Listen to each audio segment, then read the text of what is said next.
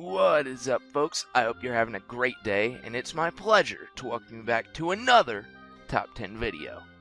For those of you that care, I'd like to apologize for not uploading in a while. It's just been a pretty busy few weeks.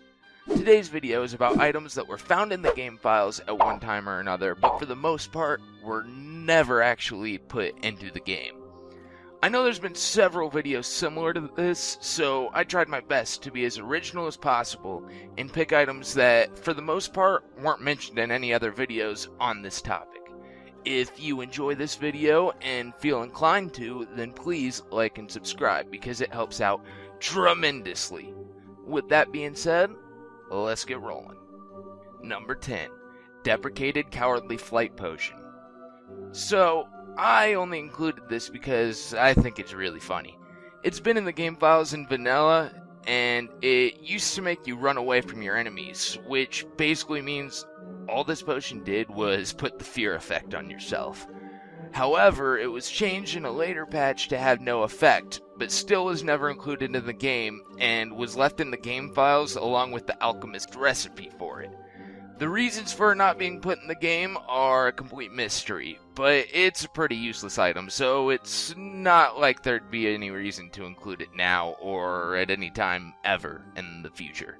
I just think this is one of the funnier goof items that Blizzard tends to keep in the game files. Number 9 Water Wings. So these gloves were in the game files during the Warlords of Draenor beta, but never made it to the live version of the game. They have an equip effect that increases your swimming speed and also has an on use ability that allows you to quote unquote super leap while in water.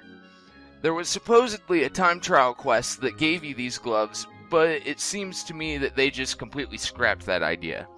I'm not sure what the reason is, but I'm guessing it has something to do with the fact that people hate underwater quests and MMOs. When they made Vashj'ir and Cataclysm, players hated it, so I'm sure they're not eager to introduce any more swimming challenges. Number 8 Brazie's Gnomish Pleasure Device. This item has an on use effect of infuses the user with 1000 megavolts of pure gnomish pleasure, and of course, it's impossible to know what this effect did. The item isn't in the game, but there is an NPC vendor inside of ICC named Brazie Getz, so you can only assume there's some relation there. The flavor text says, if you get caught with this, I don't know you, implying that it's an illegal device, and when you talk to him, he says that he sells some things that aren't legal, which could have possibly been the Gnomish Pleasure device. Number 7, Crafty's Pole. This is another one that there isn't much information on. There were a lot of rumors, and some were kind of silly, like the people would say you could catch Deathwing with this pole. I believe it was just for testing purposes for the in game fishing feature. But there's an NPC in Borean Tundra who's a gnome, and her name is Crafty.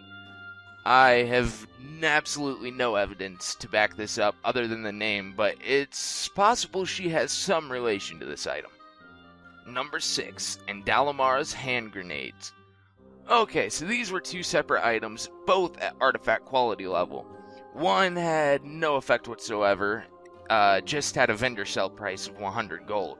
The other one said, blesses all targets with a holy infusion of power or curse them with the bane of all raiders. It seems that all the artifact level items before Legion were just used for testing purposes, so I personally believe that that's their only purpose for being in the game files at all, and that it was never intended for them to be in the game. Unfortunately, there's no way to tell what they were used to test for. I know that it's named after that warrior Indalamar who made the video of him mowing down NPCs to show that warriors were overpowered when played right, after there was a lot of backlash on the forums saying that warriors were underpowered back in the beta. So it's possible that this is just a, a goof item. Number 5 Dim Torch. This item was supposed to be able to be crafted by a profession that was scrapped altogether on the game's release called the Survival Profession. This profession was also used to make the basic campfire we have now, but instead they just added that to cooking and scrapped the profession altogether. The thing that's unique about this torch was that it would have had a party buff similar to what the campfire gives in the game. I've heard that at one time they were going to make the roads darker at nighttime and you were supposed to need torches to navigate, and I believe this would have been used for that mechanic had it been added. Number 4, Peep's Whistle. There were a lot of rumors about this mount, and eventually a player asked the GM about it. The GM's answer was basically that they had a lot of ideas in the beta, and if they felt something didn't quite fit in with the game, they would remove it afterwards, and apparently this was one of those items. From what I understand, a player used an illegal method to obtain this mount, and it actually just has the same model as the Ashes of Al'ar mount that drops from Kael'thas in Tempest Keep in the Burning Crusade raid. Number 3. Fluorescent Green Mechanostrider. This mount is a little more unique than the other items on the list. There's not a whole lot of information on it. We don't know the player's name or server who owned it. All we really have is this screenshot.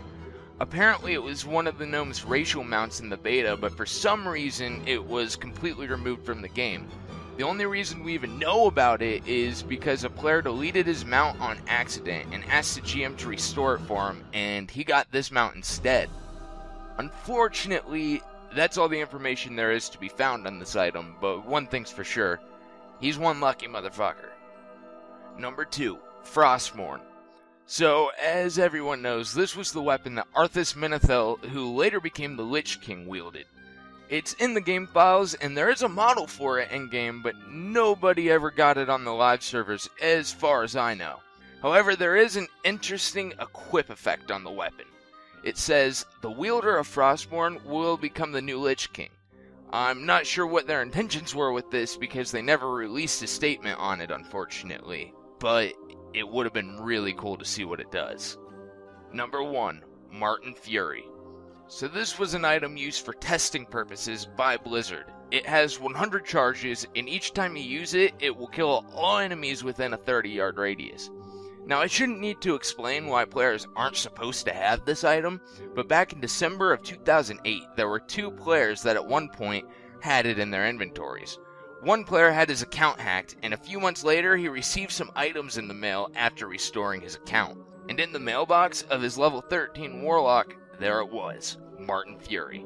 He gave it to a level 80 gnome warrior named Karate Chop, and he used the item a total of 14 times with his guild and cleared all UR 10 and 25 man, OS 25, and Malygos. Unfortunately, his account ended up getting permanently banned, and everybody else in the guild received a 24 hour ban, even those who weren't involved with using it or in any of the raids at all. I can only imagine what was going through their heads as they tried to log on that day. And that concludes today's video.